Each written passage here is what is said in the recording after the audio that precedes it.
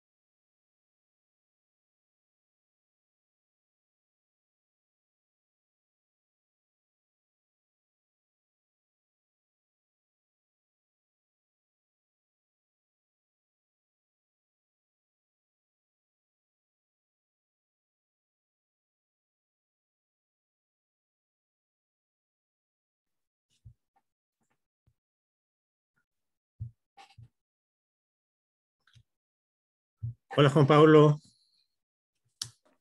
Buenos días Ricardo, buenos días a todas las personas que van a participar en este excelente webinar muy interesante. Bueno, para todos los que ya te están sumando, eh, buenos días. Eh, vamos a esperar un par de minutos que se suba más gente eh, y ahí les vamos a comentar de qué se trata este, este webinar, este, esta, esta conversación más que nada para un tema que siempre está en la mente de todos, que es hay una idea buena para emprender y vamos a estar conversando, viendo. Eh, para eso, eh, ustedes pueden ir a lo largo de, esta conversación, de esta presentación, eh, ir colocando las preguntas y ahí Juan Pablo las va a estar rescatando y después vamos a estar respondiéndolas.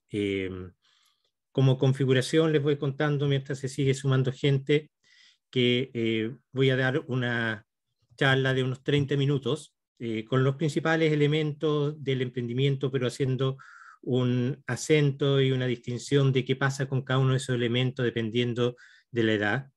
Y em, durará 30, 30, 40 minutos. Y después eh, vamos a entrar en una conversación con Juan Pablo, en el cual va a estar recogiendo algunas de las preguntas de ustedes, pero también cosas que salgan de la conversación, de la experiencia eh, de ambos. Así que vamos a esperar un par de minutos y, vamos a partir.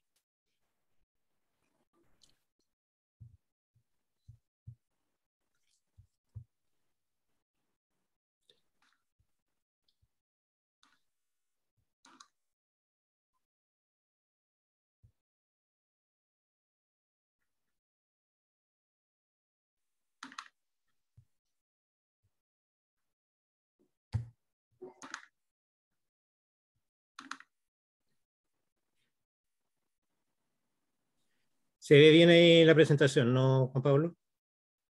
Sí, se ve perfecto. Ya.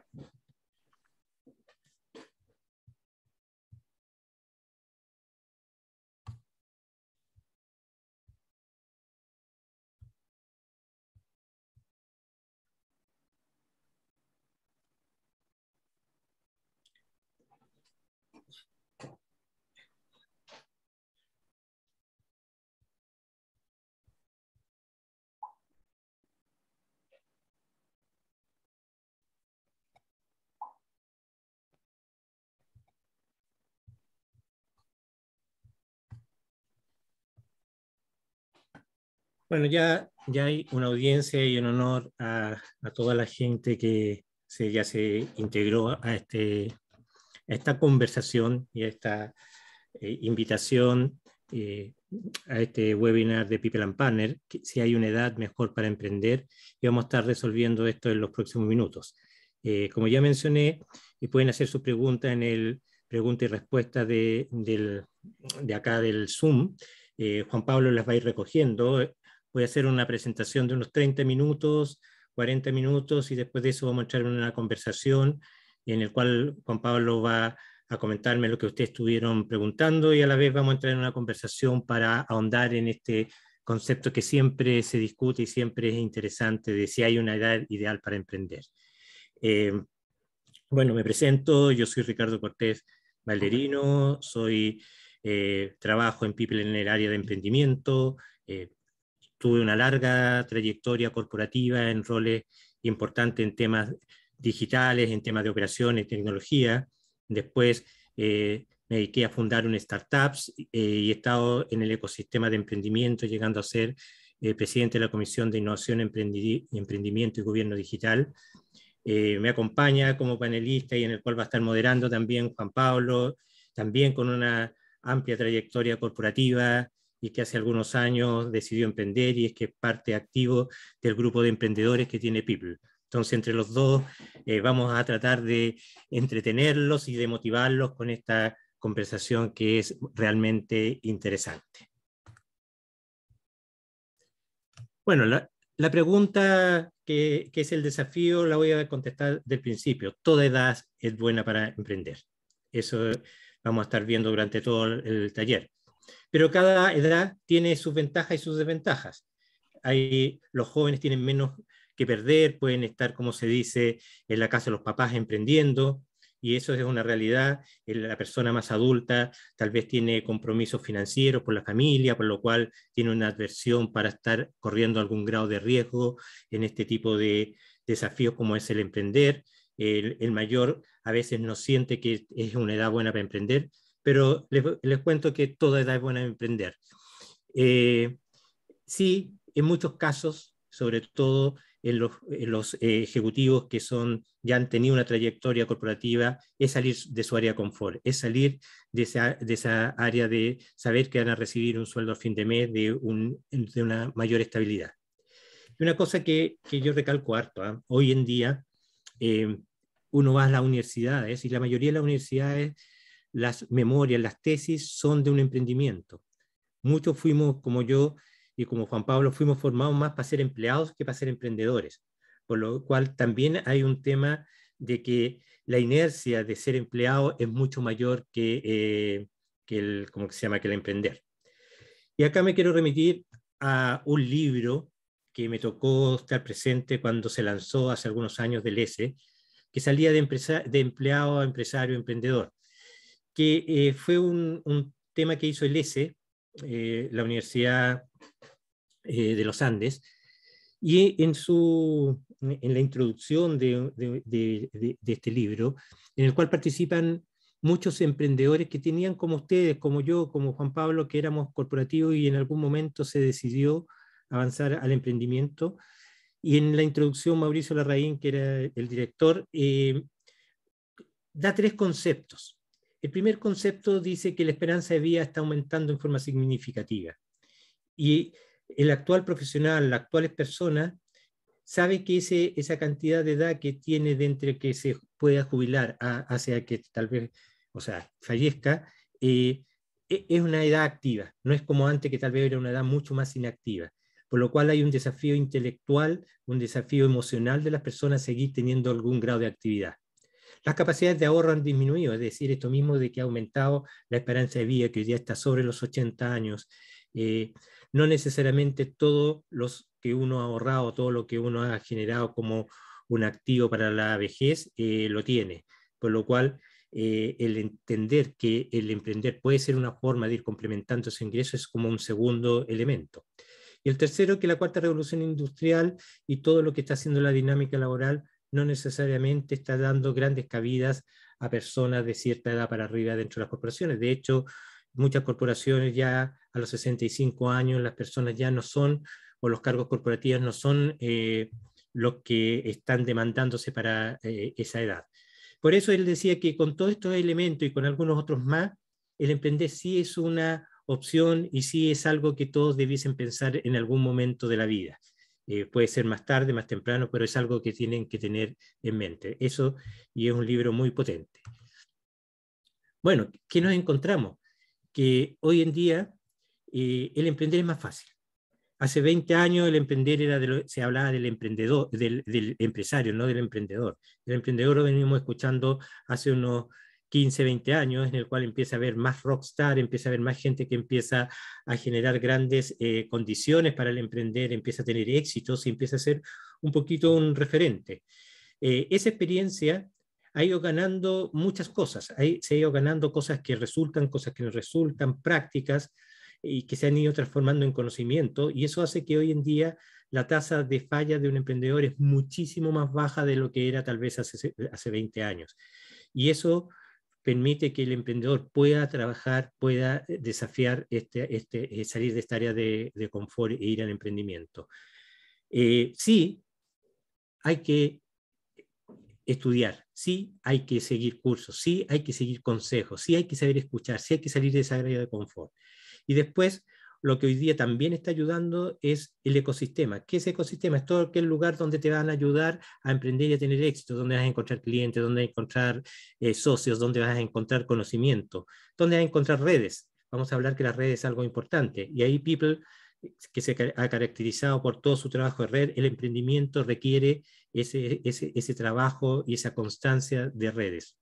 Así que para dar un ejemplo ecosistema, People y sus emprendedores es un ecosistema de emprendimiento como tantos otros, pero lo interesante es que hoy día ese emprendedor ya no está solo.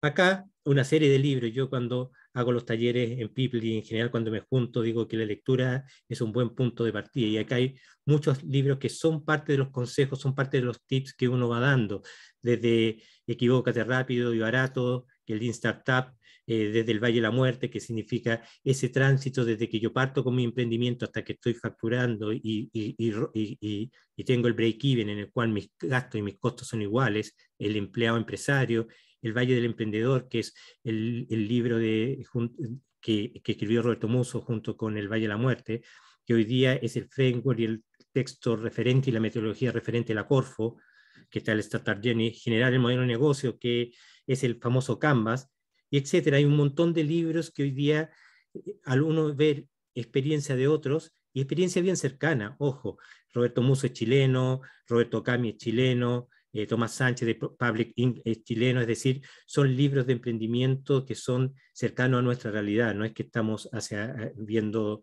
tan lejos. Hay, hay algunos que son referentes académicos como el modelo Canva y el Lean Startup de Eric Rice.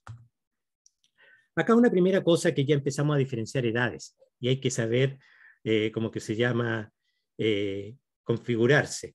Eh, esto es algo que fue muy interesante, me tocó escucharlo por primera vez en un, taller de emprendimiento de la gente de la Universidad del Desarrollo, que hablaba que existen dos formas de, estructurar o enfrentar los desafíos, el pensamiento causal y el efectual. El pensamiento causal es muy de la persona corporativa que define un objetivo, ve qué recursos necesita para, para ese objetivo y sale a adquirir esos recursos que necesita para lograr el objetivo. Mucho lo que pasa en las planificaciones estratégicas. Y otro pensamiento es, con lo que tengo, veo qué puedo hacer y salgo jugando, como se dice. Eh, acá hay un ejemplo que coloco yo de una invitación a un grupo de amigos a cenar. Hay dos formas de hacer. Pensar que voy a preparar para mis amigos y voy al supermercado, compro lo que necesito, llego a la casa, cocino y tengo el plato. Y hay otra forma que es, llego a la casa, abro el refrigerador, veo que tengo y preparo el plato con lo que tengo. Se ha visto que el emprendedor tiende a ser más un pensamiento efectual. Y ese es algo que hay que ir madurando, que uno tiene que aprender cuando es emprendedor a tener ese pensamiento, no pensar tan eh, como se piensa en, la corporación de un objetivo de tan grande, es decir, oye, ¿cuáles son mis cajitas de herramientas? ¿Qué es lo que yo tengo? Y, como vamos a ver más adelante, cuál es el problema que puedo solucionar con esa caja y a partir de eso emprender. Eso es una de las características que ya va marcando el éxito y uno ve ciertas, ciertas características, valga la redundancia, que uno ve más en las personas jóvenes, son más de pensamiento efectual, los emprendedores son más de un e, e, pensamiento efectual y la gente que de alguna forma está en el mundo corporativo, tiene ya más edad, eh, está en el causal. Por lo cual ahí hay un primer desafío que tienen las personas de mediana edad de ir configurándose hacia ese pensamiento efectual. Una frase que es la frase típica y que yo creo que es la que tiene que encapsular el, emprendimiento. Enamórate del problema, no de la solución vemos que normalmente la gente joven es capaz de estar mirando el mercado, de estar viendo los problemas y a partir de los problemas eh, determinar oportunidades y esas oportunidades las traducen en un modelo de negocio y emprenden y tienen grado de éxito. La persona de más edad tiende a enamorarse de la solución, tiende a configurar eh, emprendimientos a partir de lo que sabe y no necesariamente del problema que en el fondo va a solucionar. Acá yo tengo un ejemplo que coloco siempre en una bicicleta. Yo una vez le digo a, le digo a la gente que quiere emprender de cierta edad, hablemos de más de 40 años, y le digo, mira, una cosa, anótate todo lo que te molesta en una cantidad de tiempo sin ver ideas, sin nada, lo que te molesta de tu día a día. Y acá doy un ejemplo que un día estaba conversando con un amigo y le dije, oye, dime, ¿qué te gusta a ti? Andar en bicicleta. Perfecto. ¿Por qué no vas, a, por qué no vas en bicicleta al trabajo? porque vivo en San Carlos de Apoquindo y trabajo en el centro. Y la vuelta no me la quiero, no me la imagino, me dijo. O sea, imagínate ya, de ida me voy con el vuelo, pero de vuelta, eh, tránsito, eh, pendiente para arriba, 6 de la tarde, 7 de la tarde. No. Ya, ahí viste un problema. ¿Y qué pasa si ya está el problema? Hay una oportunidad que tú quieres bajar en bicicleta, pero no subir. ¿Por qué el negocio no es un, sistema que recoja bicicletas en el centro para gente que vive en San Carlos de Apoquindo. ¿Bajarías tú? Sí. Entonces ahí ya hay una idea.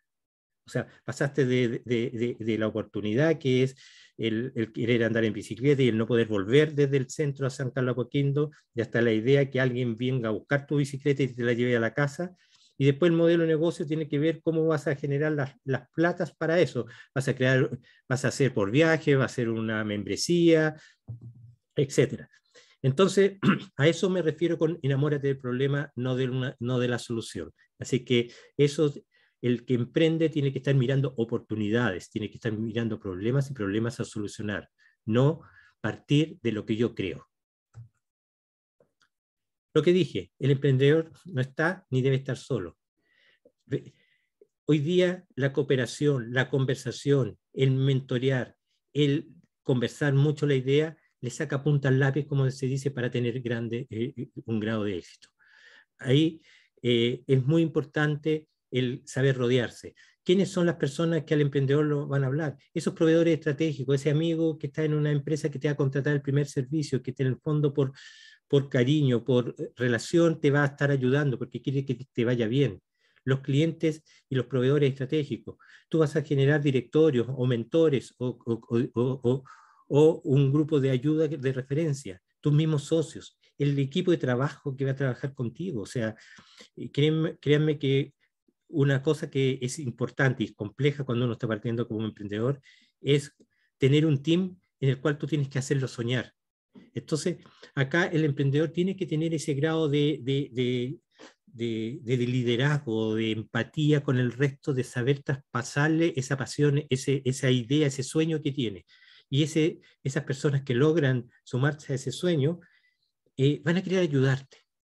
Por lo cual, no está solo el emprendedor. Tiene team, tiene directorios, tiene socios, tiene el ecosistema que hablábamos créanme lo virtuoso que ha sido el, el, el se llama? el chat de, y el grupo de emprendedores de People and Partner. Ahí Juan Pablo después nos va a comentar un poco de cómo personas han tenido problemas y cómo dentro del mismo grupo hay una solidaridad de salir a apoyar a esa persona con consejos, con contactos, con ideas. Es decir, el ecosistema es algo que te hace no sentir que estás solo. Entonces hay un, como que se llama, un viejo dicho que el emprendedor no le cuenta nada a nadie, eh, pero hoy día eh, hay una labor de eso. Y, ahí también tiene que ver la edad.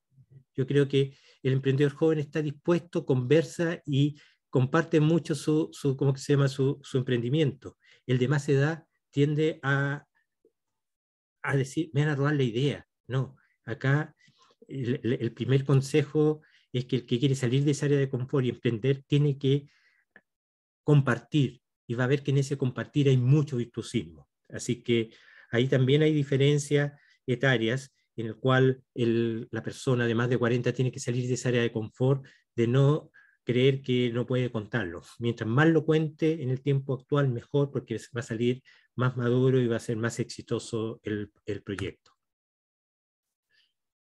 Una cosa que también tengo que yo separarles, ¿ah? porque eh, existen dos tipos de emprendimientos que tienen características bastante distintas, bastante distintas desde la forma financiar, desde la forma de, eh, asociarse y de la forma de enfrentar el, emprendimiento, que son el emprendimiento tradicional, que normalmente eh, si yo tengo un restaurante, para ganar el doble tengo que tener dos restaurantes.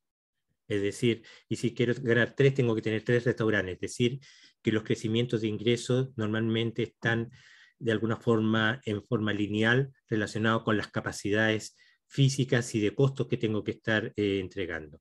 El emprendimiento digital normalmente es mucho más escalable y, normalmente uno puede crecer al triple con un costo marginal muy pequeño. Es decir, por eso se habla que los emprendimientos digitales tienen escalamientos y aceleramientos distintos que el tradicional. Eh, acá hay que saber que los dos manejan ecosistemas distintos. Uno ve un Butterfly, ve eh, como que se llama Notco, las empresas que están, la están rompiendo hoy día, son empresas más en el mundo digital, más en el mundo de la innovación eh, exponencial, en el cual eh, su ecosistema es un ecosistema que tiene que salir hacia el exterior, tiene que ir hacia grandes capitales para poder financiar. Eh, piensen que ya tenemos varios unicornios, cinco unicornios, eh, y que son valorizaciones de mil millones de dólares. Es decir, para salir a eso se requiere tener un trabajo distinto. Lo que sí vemos que el emprendimiento tradicional ha crecido muchísimo, pero tiende a ser efectivamente de personas de más de 40 años. Es decir, el, uno ve que el emprendimiento digital es más de personas jóvenes, las cuales, ojo, están viendo que integrar personas mayores con experiencia, con redes, es virtuoso también, ¿eh? pero uno ve que en el fondo si tuviese que catalogar emprendimiento digital, uno ve más gente joven con algunas inserciones de gente senior, pero el emprendimiento tradicional uno ve muchísima gente senior que en el fondo la está rompiendo. Entonces, eh, hay que entender que existen estas dos cosas para que ustedes vayan visualizando dónde podrían querer estar. Y diseñar y probar, diseñar y probar. Acá, eh, una de las cosas que se habla mucho en el mundo del emprendimiento es el producto mínimo viable. El producto mínimo viable es llevar a la realidad, es llevar a, a un prototipo en el mundo real de lo que es tu emprendimiento. Cosa de que si esa hipótesis que tú tenías al diseñarlo, lo pruebas en forma barato y si tienes que modificarlo, lo haces. Entonces, hoy día estamos, no necesitas hacer una gran fábrica antes de lanzar el primer producto. Pruébalo en forma acotada, ve, valida hipótesis y si está bien, bien. Y acá uno puede ver que dentro de lo que son las metodologías que te van a ayudar a eso.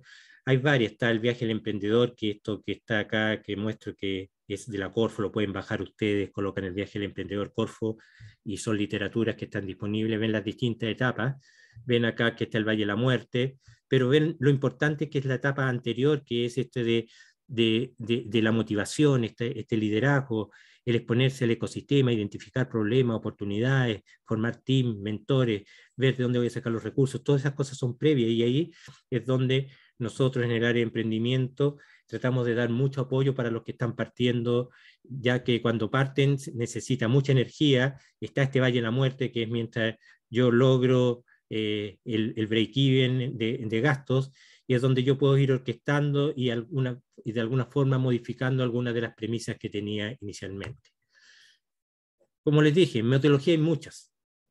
Hoy día es bueno sumarse a esas metodologías porque en el fondo van dando orden, van dando seguimiento, permiten la abstracción, permiten eh, eh, mejorar, permiten comunicar, hoy día el comunicar es fundamental y cuando uno tiene ordenado una propuesta de valor, cuando uno entiende claro los segmentos, cuando uno tiene claro los canales, los recursos críticos, puede orquestar mucha más, de mucha mejor forma todos los desafíos.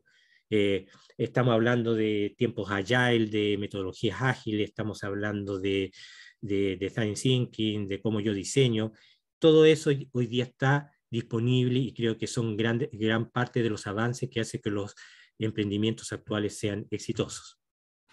Y como digo, hay que tener este canvas, hay que diseñar, hay que evaluar, probar, para después explotar, que en el fondo es lo que nosotros apuntamos a todo lo que se suma en el ecosistema de emprendimiento de People Partners. Bueno, quiero hablar dos minutitos de algunas cosas que estamos viendo en el día a día.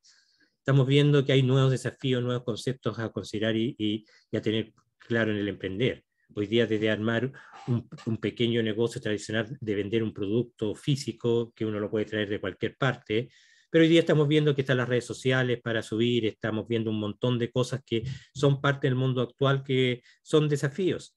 Y para, para eso, y yo creo que una de las cosas que tiene que hacer el emprendedor tiene que comprender profundamente el mercado, tiene que mirar hacia afuera, no hacia uno. Uno sabe lo que sabe, ya, listo, hay que saberlo, hay que configurarlo.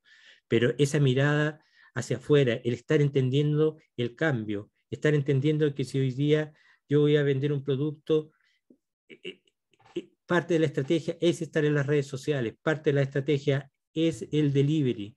Esas son cosas, estoy dando un par de ejemplos, pero en general donde yo me eh, veo oportunidades, tengo que entender muy bien el mercado. No tengo que creerme el cuento solo porque creo, sino hay que investigar. Así que eh, el primer concepto es al tema. Y estamos viendo que estamos en, una, en, una, sociedad distinta, con gente más informada, eh, con, un, con una tensión entre el individualismo y el colectivismo, entre cosas de moda, la velocidad de la tecnología. Entonces hay que entender que las personas están más informadas, son más exigentes, eh, hay un tema relacional distinto, son omnicanal, o sea, está desde el celular viendo, etc. Hay cuatro elementos tecnológicos que hoy día nos van a empezar a, a, a, ¿cómo que se llama? Espera un poco nos van a empezar a, la vamos a empezar a escuchar con mayor atención. Y esto tiene que ver con todo. ¿ah? Eh, acá estoy hablando de elementos de tecnología como inteligencia artificial, blockchain, NFT, criptomonedas, algoritmos, automatizaciones. Pero el otro día yo conversaba con un emprendedor que, era, que tenía delivery de comida, simple. Y, y estaba con problemas que le había bajado la venta. Y yo le decía, oye, pero tú has fidelizado a todos los que te compraron una vez mandándole mail, mandándole ofertas, porque en el fondo es muy difícil captar un nuevo cliente. Y perderlo, sí, es malo. Eh, no, no he hecho nada. Entonces, y, te das cuenta que no, no has aprovechado lo que es usar un poquito de tecnología para hacer campañas de retención o de fidelización. Entonces, yo creo que la tecnología hoy día, si bien yo puedo estar en un negocio muy tradicional, pero hay que tenerlo un poquito en cuenta. Y hoy día hay muchas herramientas que sin caer en el, en el como le digo, eh, como decía inicialmente, en estos emprendimientos tan digitales, van requiriendo de muchas de estas herramientas que hoy día son herramientas disponibles. Eh, nos estamos enfrentando a un metaverso, que son formas distintas de relacionarnos. Tal vez el día de mañana yo voy a ir a comprar, voy a tener una consultoría a través de una sala de metaverso. Y acá están distintos elementos del metaverso que son desde compras online, desde workplace, de todo el tema social media, del tema juego, del tema de los NFT, que están de moda, que son estos activos digitales que en el fondo están basados en la tecnología blockchain y que en el fondo es un gran mundo, todo lo que son las criptomonedas y todo, todo ese mundo. Creo que de hecho hay una charla que, eh, y una conversación que va a tener eh, Tomás la próxima semana para hablar de este tema del metaverso y cómo el metaverso cada día va a estar más dentro de nuestra vida y cómo es parte de los elementos a, entender dentro de lo que puede ser eh, la trayectoria y las ofertas laborales, pero también va a estar muy presente en el, en el tema de, de, ¿cómo se llama?, de emprendimiento. Digitalizar todo lo que se pueda, construir activos de data, decisiones basadas en datos, lo que les decía yo, el ejemplo de fidelización de un pequeño e-commerce eh, pasa con, con esa estructura de datos y ese, eso, esos temas. Eh, lo que hablaba, la importancia del ecosistema. Desarrollar ecosistema es fundamental para un emprendedor.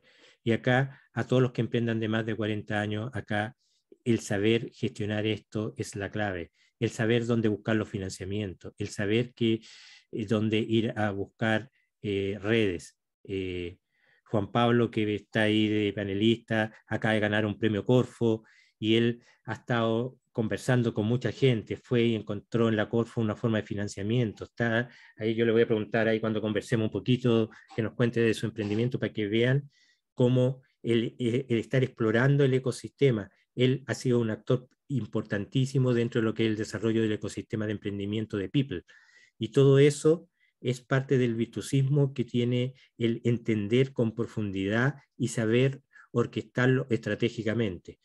Yo creo que una de las palabras claves del éxito es saber orquestar estratégicamente el ecosistema, porque el resto, si yo hago bien eso, ese ecosistema me va a responder y me va a ayudar a validar mucho de lo que eh, hago. Y el talento, talento siempre que, nunca hay que dejarlo al lado. El talento personal, el saber rodearse con las personas adecuadas, tener el socio adecuado, tener el, los conocimientos adecuados es fundamental para el éxito. Entonces, el, el, el, talento tiene que estar presente y si uno no, no, lo, no lo encuentra, de hecho hay una, un, emprendedor también de la red de People que tenía idea y no tenía socio y, encontró que eh, desde el punto de vista quería desarrollar una plataforma y no tenía el, socio tan tecnológico. Y no encontró nada mejor que desarrollar una plataforma simple para encontrar socios, porque ahí está su problema, se llama cofounder.cl, eh, entonces uno tiene que saber buscar el talento porque no necesariamente va a tener todo lo que necesita para la idea y para solucionar el problema que detectó. Entonces, ojo que este es otro de los temas clave. Hablé de, entender tendencia, de eh, entender cuáles son las tecnologías, dentro de eso el metaverso y el talento como algunos de los pilares fundamentales de lo que hablando. Y aún más, hoy día las empresas buscan propósito. La, la gente compra productos donde hay propósito.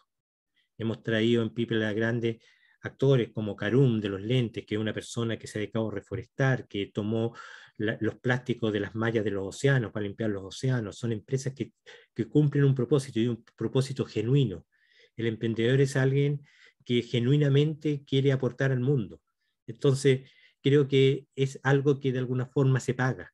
Buscar impactar positivamente al medio ambiente, a la sociedad, son cosas que busca eh, el, ¿cómo que se llama? el emprendedor. De hecho, uno ve que muchas empresas medianas, pequeñas y grandes ya están siendo o aspirando a ser empresas B. People and Partners es una empresa B que tiene ese propósito, ese en, sus estatutos ya colocado que busca impactar positivamente al medio ambiente y a la sociedad. Entonces, ojo que este es un, es un más. Acá ya yéndonos a un poquito la persona más senior que uno puede decir, el senior es una persona que, que como que se llama, que está buscando eh, eh, trabajo, está buscando muchas cosas, está buscando entretenerse. El conocimiento, experiencia y capacidad son tres cosas relacionadas, son tres cosas que diferencian a una persona ya de cierta edad. Conocimiento, experiencia y capacidad. El joven muchas veces tiene algún grado de conocimiento por la experiencia, las redes, esa capacidad de interactuar con distintos ecosistemas, con distintas personas, eh, la persona de más edad la tiene. Y ahí habla de la hora de los emprendedores seniors, porque tiene una gran oportunidad en la Silver Economy. ¿Qué es la Silver Economy? Es ese tránsito a la verdadera tercera edad. Es esa, esa edad de que la persona tiene 60, 65 años y quiere llegar a los 75 y, sabe que a los 75 hay mucha, mucha gente que necesita cosas y, está totalmente energético, vivo y activo. Eso se llama la Silver, eh, es la, la Silver Economy. Y el emprendimiento senior también ataca y tiene como nicho ese, ese, ese, ese, ese, lugar. Y acá algunos temas que, que rescaté. El emprendimiento senior, una apuesta segura en tiempos de incertidumbre. Es decir, hay espacios, hay que encontrarlo, hay que saber mirar el mercado, hay que sacarse los lentes de lo que yo sé y lo que yo creo y abrirse al mercado.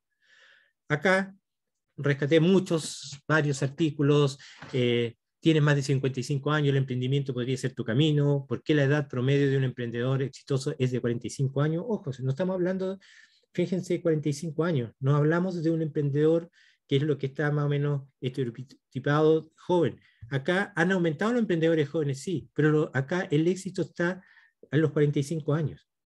Eso te mueve que en el fondo el emprendedor de más de 40 es un emprendedor que tiene un nivel de, de conocimiento, de seniority, de experiencia, que le da más posibilidad de éxito a un emprendimiento que un joven. El joven tal vez al no tener todo esto, tiene un índice de fracaso más alto. Por eso, hay muchos estudios con diferentes datos, pero vemos que cada día se emprende más y cada día los proyectos exitosos suman socios con más experiencia. Entonces, esto es un llamado motivacional a que ustedes pueden, eh, como que se llama, emprender y todos los que están escuchando acá, que tal vez son mayores de 40, esto es una oportunidad y, hay que salir del área de confort, por está. Y a mí me gusta tal vez terminar eh, parte de, esta charla con esta lámina. Eh, yo me acuerdo que, en, como que se llama, muchos se acordarán de Tuning, de Tuning cuando vino a sacar la foto. Yo el día después, en ese momento, trabajaba en el Banco Chile y, tenía una reunión con, que era gerente general en ese momento, Pablo Granifu, y Pablo me dijo, Ricardo, acabo de llegar a una conclusión cualquier emprendimiento bien hecho tiene que tener a lo, a lo menos 5.000 clientes.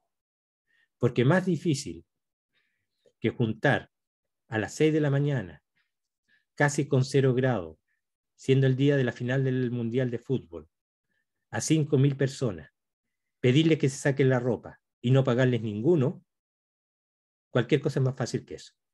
Pero sí hay que hacer las cosas bien.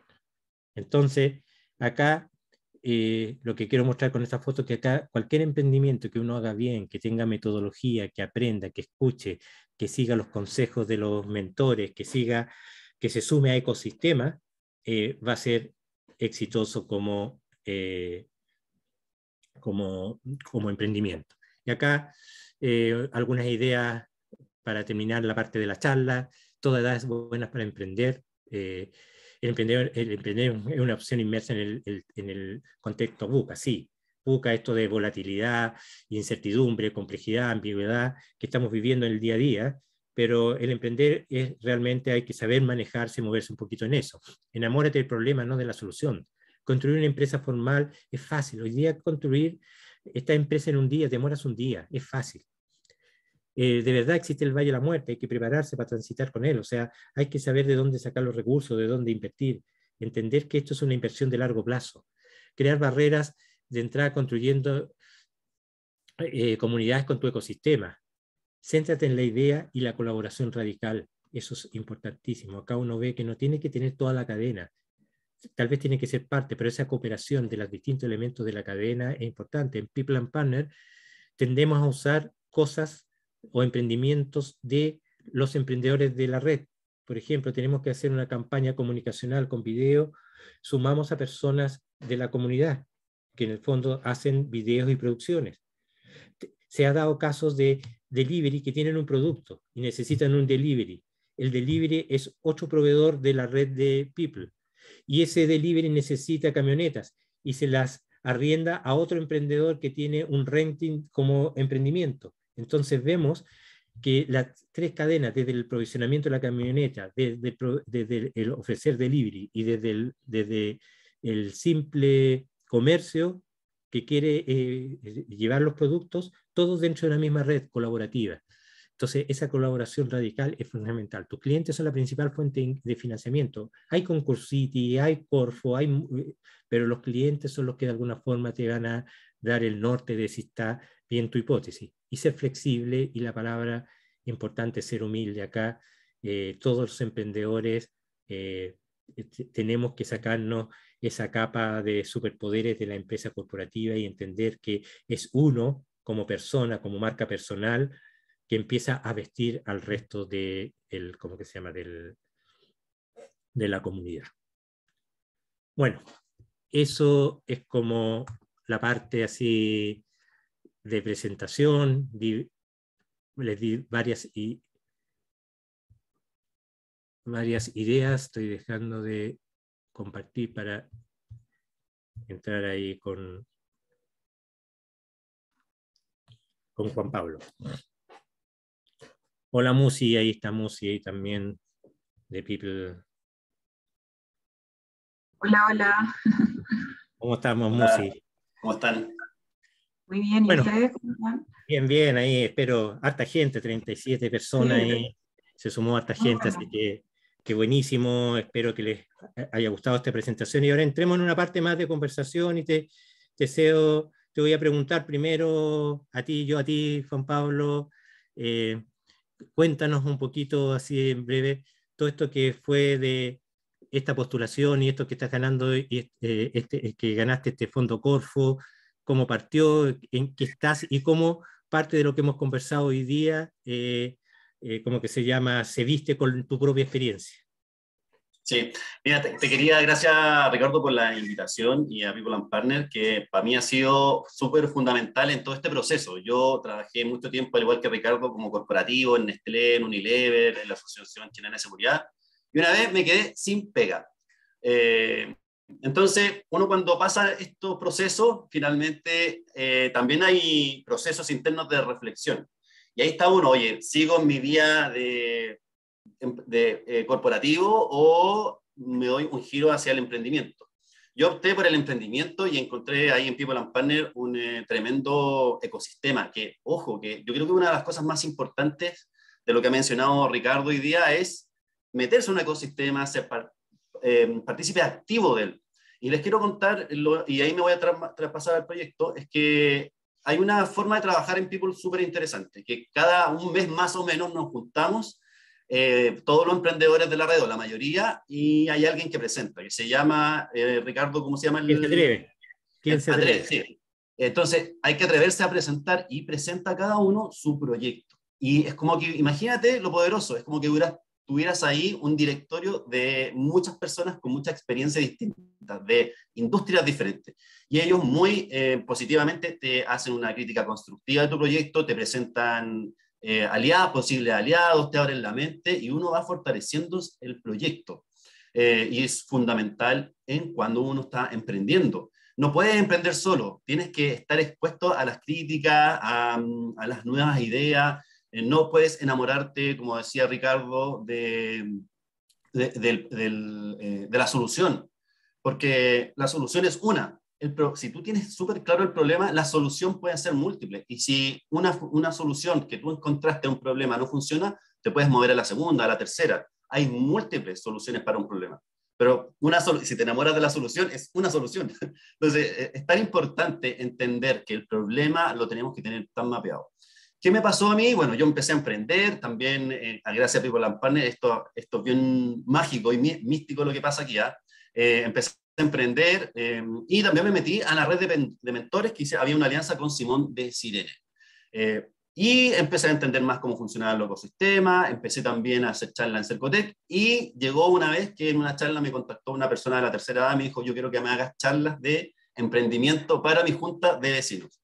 Y yo, wow, qué, qué interesante, eh, qué interesante alternativa. Hicimos estas charlas de aproximadamente, capacitamos dos años a más de 70 personas de la tercera edad, emprendimiento senior, y, de ahí nació la idea, dije, oye, eh, Zoom ha sido una herramienta súper poderosa, esto también fue en pandemia.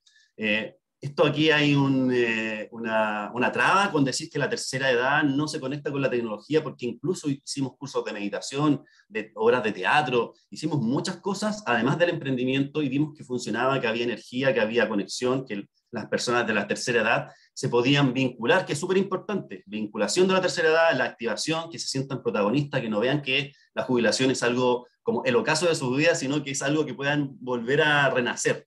Eh, y de ahí nació el proyecto Corfo.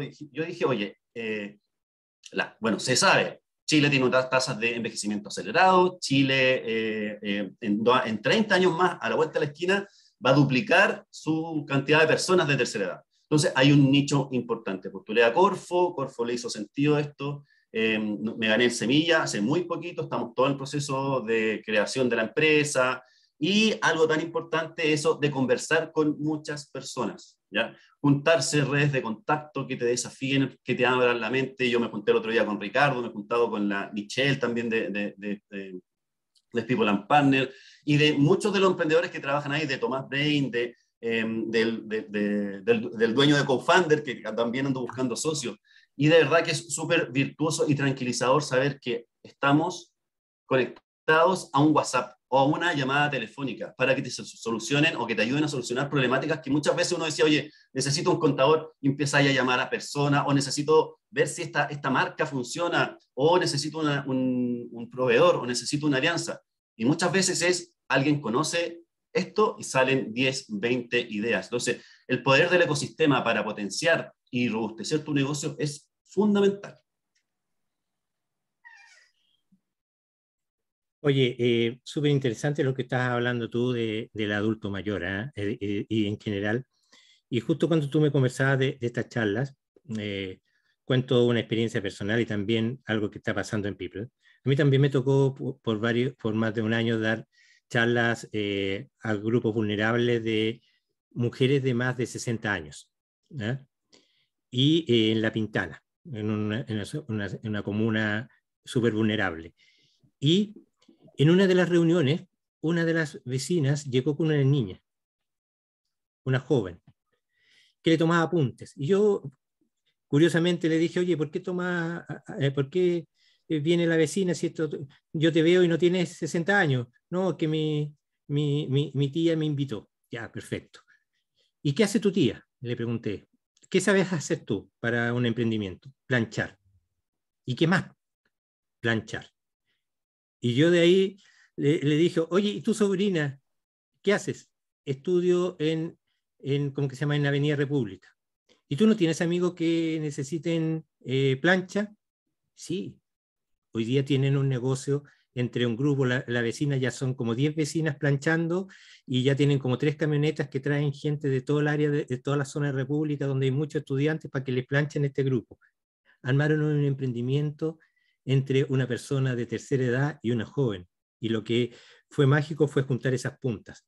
Y uno ve en People Partner, hay Be Happy, es un emprendimiento de, que en el fondo se incubó, se vio, se conversó en People and Partner, que ha ganado concursos en la Municipalidad de Las Condes, ha participado en feria, ha ganado premios en la UDD Ventures, que en el fondo son unos, como se llama, unos snacks que tienen unas propiedades súper positivas nutricionales, y es un padre con una hija, una persona de cerca de 50 años con su hija 25 años, y hay magia ahí. Es decir, también estamos viendo que ese, esa mezcla de, emprendimiento más senior con el emprendimiento juvenil también es un, camino.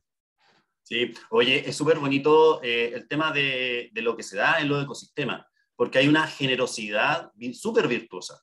Eh, te van a ayudar como, gratuitamente porque hay un, un alma, un ADN de, de esta generosidad. Entonces, eh, el emprender en estos contextos es mucho más fácil porque eh, también uno tiene que estar eh, dispuesto a escuchar y eso es súper fundamental y a ordenarse porque uno lo que típico escucha, y yo soy también mentor de emprendimientos tradicionales y de startups, es como no tengo tiempo, no tengo dinero y no me gusta vender, cosa que es una trampa, ¿verdad? No tengo tiempo eh, atenta a que voy a empezar a, actuar quizás desorganizadamente y eso me va a traer en el futuro un problema. Si no administro mis finanzas correctamente o no tengo educación financiera, voy a tener un problema. Eh, si no me gusta vender, prácticamente ahí está ahí destinando, eh, es como dispararse los pies porque la venta es lo que te genera los recursos para que tú puedas sobrevivir en largo plazo. Y, y aquí está la diferencia entre el emprendimiento más tradicional y el, y el y el, ¿cómo se llama? El emprendimiento más digital. Que Pablo, tiene que aportar. ¿Sí? Fíjate que interesante que, lo, que dice mm. que parte de lo que decía el libro este y lo que nosotros decimos, que parte de, del emprender no es necesariamente tener todas las habilidades y todas las capacidades. Eso. E, es saber buscar el complemento en los socios y en los colaboradores. Es decir, si yo no sé vender, que puede ser legítimo. ¿ah? Hay personas que pueden ser de operaciones, que pueden tener la idea, pueden y no saben, no saben vender, búscate un socio que sepa vender. Exactamente. Búscate un colaborador dentro de tu estructura de empresa que sea un vendedor. Es decir, si tú no sabes vender o vienes de un mundo más técnico o más de apoyo dentro de una corporación, decidiste emprender y necesitas darle un impulso comercial, búscate un colaborador que sea full de ese tema. Cuando todos son parecidos, eh, al final también ese es como un consejo para el emprendedor que está pensando no busquen clones, ¿ya? Porque los clones al final, si todos están mirando para adentro y no están mirando para el mercado, es una de las recomendaciones que nosotros damos que no es un buen camino. O sea, el complemento, el, como decías tú, el salir a no tener esa capacidad de salir al mercado a vender, es dispararse los pies. O sea, todo emprendimiento necesita tener ese espíritu. Y si bien no es eh, genérico para todos los tipos de emprendimiento, pero para los digitales, los fondos de inversión te piden tener a lo menos tres socios full dentro de la empresa. Uno que esté mirando el mercado, vendiendo, otro que esté preocupado de hacer la pega interna, y un tercero que esté, eh, que en el fondo esté viendo la startup, preocupado de ir a buscar las platas para que estos dos sigan trabajando. Porque hay muchos, muchos, como que se llama emprendimientos, sobre todo los digitales, que necesitan más tiempo de madurez para llegar a este break-even y necesitan recursos para llegar a este break-even. Sí, interesante porque eh, el tema de los socios llega a ser fundamental. Eh, el otro día había una estadística un poco, añeja, hay que reconocerlo, pero de la SEC, eh, y que hablaba de que casi el 16% de los emprendimientos en Chile también se caen por problemas en los socios. O sea, elegir el socio pasa a ser una herramienta fundamental, porque claro, uno tiende a pensar de que quiero a alguien que piense como yo, eh, lo que sí tienen que tener la misma visión, ¿verdad? El mismo norte. Queremos llevar la empresa a, si uno quiere ir al sur y otro al norte, van a tener un problema. Pero el complemento es fundamental. Si yo tengo habilidades financieras, necesito a alguien comercial, pero no puedo hacerlas todas. Y el, el factor pulpo acá termina siendo una trampa mortal. Es interesante, Ricardo, lo que hablabas del orquestar estratégicamente, de tener esa capacidad de unir, ¿verdad? Y también de la colaboración radical, que esto yo lo escuché en el FIS este año y me pareció fundamental en, en el espíritu cuando uno va a eh, colaborar radicalmente, significa entregar y recibir, saber pedir ayuda y muchas veces también el emprendedor, y no sé si estás de acuerdo, eh, le cuesta pedir ayuda muchas veces. Sí, yo creo que por eso eh, hablaba que, eh, del concepto de la humildad. ¿ya? el emprendedor tiene que ser una persona humilde en el cual sepa pedir ayuda.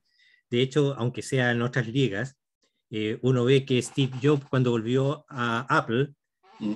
le fue a pedir ayuda a Bill Gates es decir, a su, entre comillas, H enemigo le fue a pedir ayuda. Mm. Y en esa reunión surgieron cosas tan milagrosas como que eh, Microsoft inyectó y fue dueño por casi un año del 40% de Apple. En ese momento se estableció que iba a haber un Office para Mac. Y eso nació de, del mm. entender que yo necesito al otro. Mm. Y, y, creo que ese concepto que hoy día está muy en boga de la generosidad es algo que tiene que ser practicado y tiene que estar en el ADN de un emprendedor.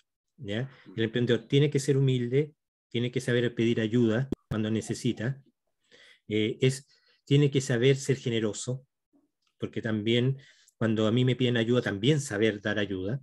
Y creo que eso va formando un, como que se llama una mística y, un, y, algo que va ayudando y va generando negocio. Entonces, eh, hoy día, como dices tú, el FIS, el Festival Internacional de Innovación Social, eh, que es uno de los articuladores de, este, de estos movimientos que, eh, que apuntan a mejorar la sociedad y el medio ambiente, eh, un poquito dentro del espíritu de, de, empresas B, que empresas B son de triple impacto, impacto social, medioambiental y también económico. No es que una empresa ve, no sea una empresa, una fundación, una cosa, no, son empresas que en el fondo, aparte de las lucas, están ganando esto otro.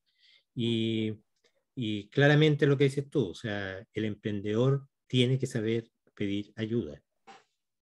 Sí, y, y, dejarse llevar. Yo creo que eh, los que están acá mirando este webinar y, puedan mm, ir a People and Partner a entender, a, a, conectarse con esta red de verdad que nos juntábamos también a, pasarlo bien, se trabajan en esas reuniones, nacen ideas, nacen nuevos emprendimientos, o sea, de verdad que eh, yo lo he, desde afuera, yo al principio no creía mucho en esto de los lo ecosistemas eh, y me he dado cuenta que fatal error que tenía cuando conocí a People and Partner y de verdad personas valiosísimas de industrias distintas y con una experiencia feroz que también son feroces muchas veces en, el cuestionamiento de tu modelo de negocio, pero es que es súper necesario, porque si uno no cuestiona su modelo de negocio, puede estar haciendo un radier eh, medio débil que finalmente te va a hacer que tu negocio se derrumbe. Entonces, uno al principio tiene que dedicarle muchas horas, hombre, a, que a hablar con personas que te cuestionen tu modelo, que te amplíen la mente, estar dispuesto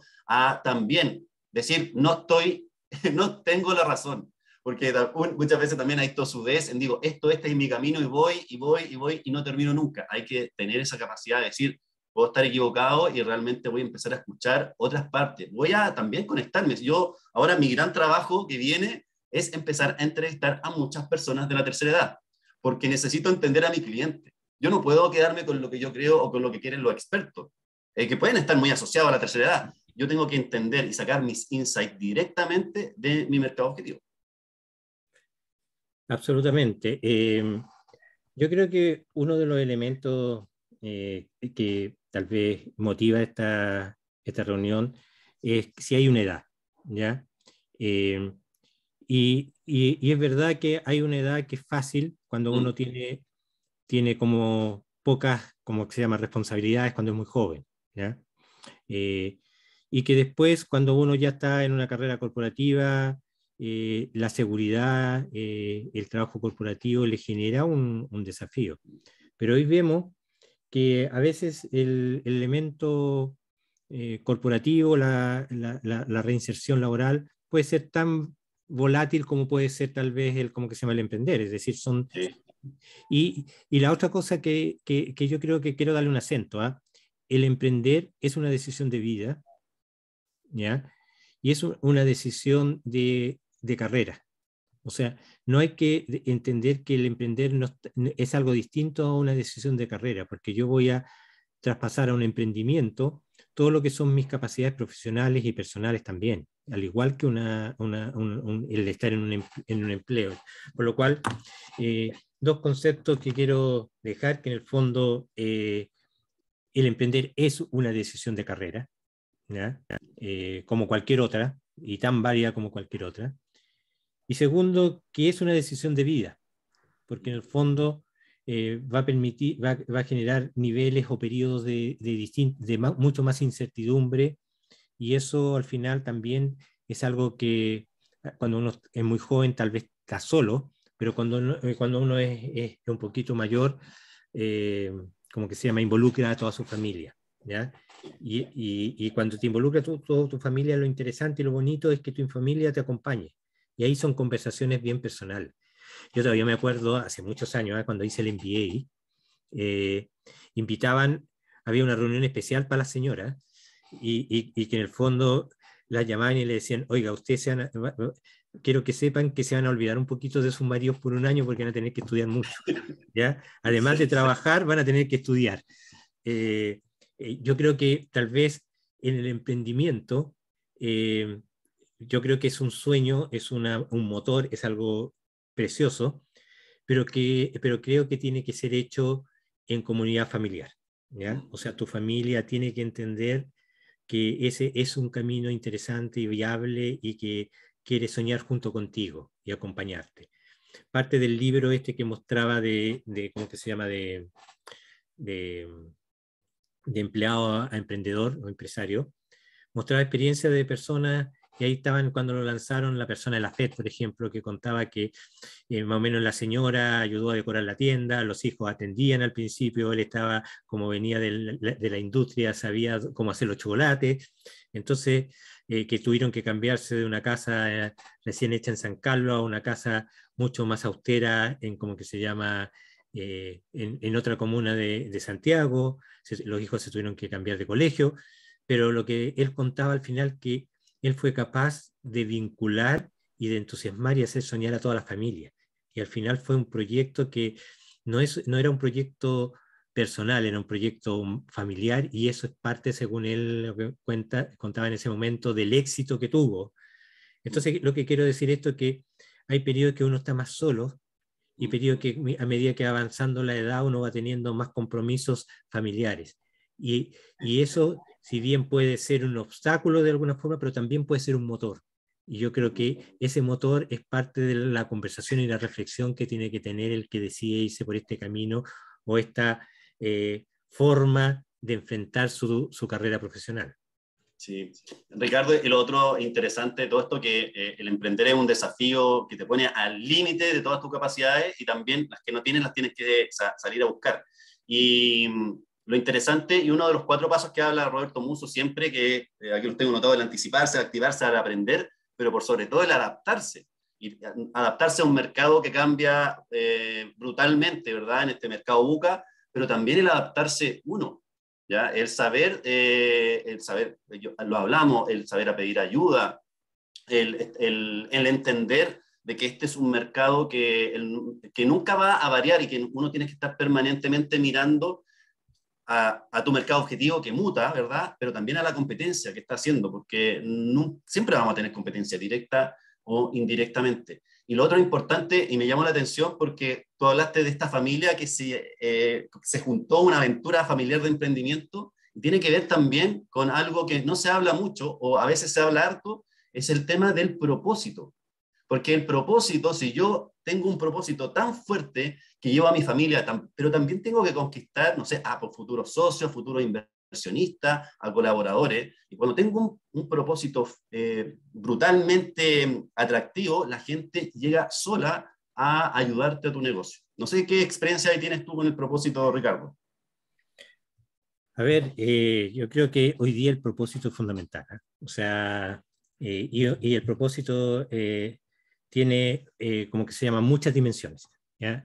Tiene desde dimensiones de, del qué voy a hacer y cómo voy a impactar, que tiene que ver lo que decía yo, estoy haciendo algo solo por ganar plata o estoy haciendo algo que también eh, hay algo más, o sea, estoy haciendo algo que tiene producto sustentable, que se hace en una forma eh, sustentable. Ayer hablaba con otro emprendedor que está muy motivado por, eh, primero, por la electromovilidad y traer bicicletas eléctricas, pero también le motivó lo que son las, las granjas verticales, que es una forma de traer comida, pero más hecha en la ciudad para disminuir los transportes, eh, y una tendencia que está viendo. Entonces, yo creo que el propósito tiene primero una dimensión eh, personal, ¿ya? Y, una, persona, y una, una, una, dimensión de cómo lo que yo hago está impactando a la sociedad y al medio ambiente.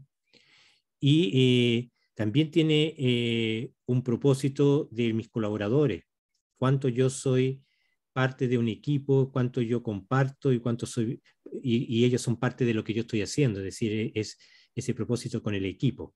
Entonces, eh, creo que hay mucho de, mucho de, eso y, y, creo que eso genera, genera pasión y convicción. En, el, grupo de People hay personas que no la han pasado bien por la pandemia, dicho de, derechamente, o sea, una persona que tenía un gimnasio, que no tuvo los aforos, que después fue en otro lado y tuvo la mala suerte que es donde estaba, eh, eh, había subarrendado un espacio, eh, eh, como que se llama, y clausuraron y se quedaron sus máquinas adentro, que hizo, pero está tan convencido de que el propósito de salud, el propósito personal, lo que a él lo mueve es tan potente que ha seguido y ya está pasando y rompiendo barreras, pero esa, esa pasión y ese propósito yo creo que hace que en el fondo las dificultades tú estés dispuesto a superarlas. Y si ese propósito es tan profundo y tienes a tu familia, tu familia va a ser también parte de tu, de tu apoyo. Y si tú tienes un ecosistema como el de People, también te va a ayudar. Entonces creo que acá eh, el propósito es virtuoso. ¿ya? Es como la generosidad es virtuosa, eh, el tener un buen propósito va a ser virtuoso. Sí, exactamente. Eh, de verdad, uno lo pasa mal también con, cuando uno ve que sus compañeros de, emprendimiento están pasando, eh, están pasando dificultades y verdad, el propósito finalmente termina siendo un combustible eh, que te eh, alimenta permanentemente a ti y al que está alrededor. Es un, se produce un efecto súper bonito. He visto emprendimientos, startups que con el propósito llaman mucha gente y también muchas alianzas estratégicas, que es lo que uno tiene que estar buscando eh, de cómo estar permanentemente también linkeándose hacia otras. Tú hablaste muy bien un ejemplo del eh, que pasa en People, una persona, un, grupo que hace el delivery, ¿no es cierto?, hace el transporte eh, y, le compra o le arrienda los autos o los equipos a otro y así se generan muchas, muchas alianzas conectadas también con el propósito, porque hay, un, hay una energía súper poderosa y una energía de verdad que, que se transmite. Eh, yo, para mí ha sido una tremenda experiencia vivir todo este proceso con People, ha, sido un partner, eh, y hay muchas People, partner y personas que te ayudan, y, el nombre es bien, es bien decidor de lo que pasa ahí, eh, porque finalmente es un apoyo de verdad que no tiene precio. Y creo que los que ojalá puedan partir por ahí y entender cómo funciona y, empaparse y ser un socio también de esto, porque así como uno va a pedir, también tiene que entregar. Eh, yo he tenido horas de verdad que yo creo que no tienen valor de Ricardo, de gente que, y de muchos más, en realidad no quiero decir nombres porque hay muchas personas que siempre están dispuestas a darte una hora, media hora, incluso más, para darte un feedback súper necesario para tu negocio. Así que los que están ahí, aprovechen la red, los que no están, traten de meterse de verdad que va a ser una sorpresa súper agradable, porque uno no entiende el poder del, del, de los ecosistemas hasta que lo vive. Bueno, yo creo que vamos a ir cerrando esta charla, esta conversación, con alguna idea fuerza que quiero dejar. Eh, la invitación era, hay edad para emprender, yo digo, toda edad es buena para emprender. Eso es, es primer cosa, o sea, desde los jóvenes hasta avanzar a la tercera edad. Hay dificultades en cada una y el desafío en cada uno es propio de, del emprendimiento. El emprendimiento más senior tiene que aprender a mirar más al mercado y no mirar la solución. Es decir, un segundo gran concepto, preocúpense más del, mercado, preocúpense más del problema más que de la solución. Como dijo Juan Pablo, a veces cuando uno se va a la solución es una, pero cuando el problema, la solución pueden ser múltiples y uno puede ir pivoteando en las distintas soluciones de ese problema. Entonces, el segundo tema, eh, como dije, toda edad es buena. Segundo, enamórate del problema, no de la solución. Eh, tercer concepto que quiero que se queden es que para, para, cada día los emprendimientos tienen más éxito, pero tienen más éxito cuando hacen varias cosas que son parte de las prácticas de, eh, actuales de, aprender. Uno, eh, una pequeña formación. Hay que entender qué hacer, qué no hacer, cómo hacer, eh, estar mirando las tendencias, estar mirando, o sea, hay que tener un poquito de academia, por decirlo de una forma, un poquito de formación, un poquito de, de recomendaciones y en eso los programas de emprendimiento de People ayudan bastante. Tercero, un factor clave, después de enamórate del problema, desarrolla estratégicamente el ecosistema que va a, va a ser tu soporte permanente. Entendiendo que el, el, más chiquitito, que lo hablamos bien al final, es la misma familia, ¿ya?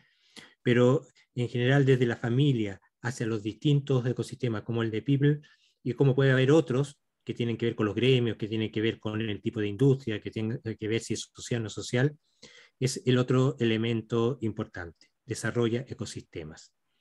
Y lo, y lo último, eh, que todo esto de decidir qué es mi, mi, mi, forma de carrera, definir, eh, conocer, atreverme a hacer el cambio de vida, eh, genere un propósito y que ese propósito sea virtuoso. Entonces, invitados todos los que pueden estar escuchando acá, eh, que exploren si es que en el fondo están. Es una alternativa y, creo que da muchas satisfacciones. Tiene muchas bucas, pero muchas satisfacciones. Así que felicitaciones, Juan Pablo. Gracias por acompañarme en esta conversación que fue súper grata, eh, contando tu experiencia.